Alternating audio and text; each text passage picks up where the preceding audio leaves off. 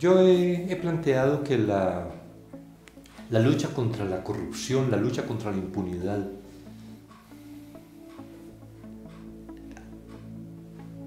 no ha triunfado. Esto es apenas la demostración que sí es posible luchar contra la impunidad, que un sistema de justicia sí puede afectar altos intereses en un país.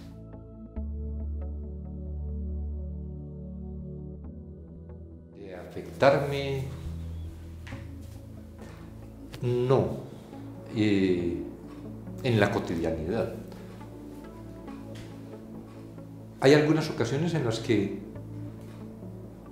me puede generar sorpresa. Hay otra situación que ojalá no se extienda, no, esté muy extendida, y es que algunas personas que por alguna circunstancia han venido a hablar acá conmigo o, hemos tenido una reunión afuera o, o de esta manera circunstancial, después, como si fuera una seguridad, una patente para poder hacer cualquier cosa, dice, pero es que yo hablo con el comisionado. O yo tengo relación directa con el comisionado. Pero utilizan su nombre. Utilizan el nombre. O yo tengo aquí la tarjeta del comisionado. Yo no me restringo mucho en, ni en hablar con las personas, ni en entregar la tarjeta.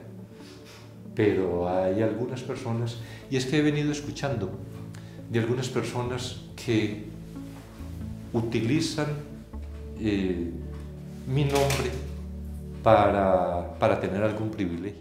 Inclusive en alguna ocasión eh, supimos de una persona en condiciones de esa que decía, como yo tengo, una, como yo tengo eh, posibilidad de acercarme al comisionado, le vale tanto una cita con el comisionado. Y aquí con las compañeras eh, lo tienen muy claro.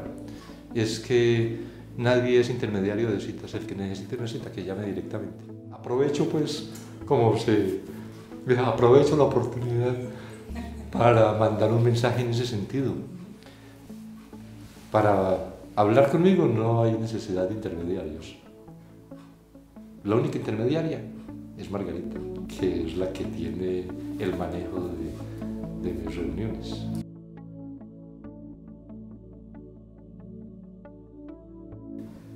Creo que una gran virtud de las investigaciones que hemos desarrollado en estos años es que no dependen de prueba testimonial.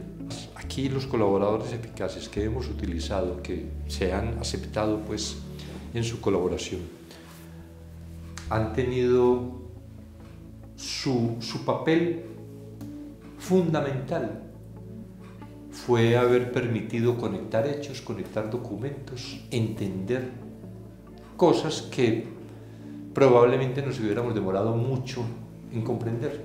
Por ejemplo, está entonces un cuadro de estos y aparecen unos contratos. Valor de, del contrato, valor pagado, ICM. ¿Qué puede ser eso? Pero es incentivo comercial monetario. Entonces, ¿qué será incentivo comercial monetario?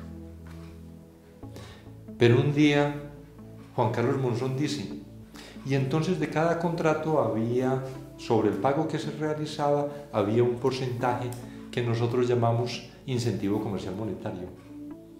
Si ustedes ven, hay una columna que dice ICM y el valor que hay en esa columna corresponde a un porcentaje del valor pagado. Eso era lo que nosotros recibíamos por el contrato. Entonces ya teníamos el documento y teníamos inclusive lo, de, lo del pago podría tener en algunos casos también un documento de soporte, pero nos faltaba eso.